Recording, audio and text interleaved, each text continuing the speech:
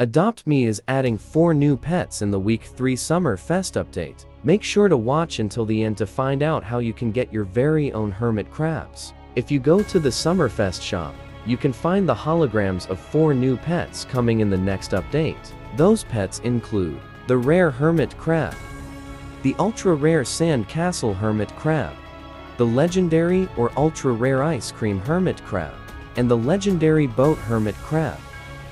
Just like most pet boxes, it will most likely be between 15,000 to 35,000 beach balls per box. What do you think of this update? Comment below, and make sure to like and subscribe with notifications on. Until next time.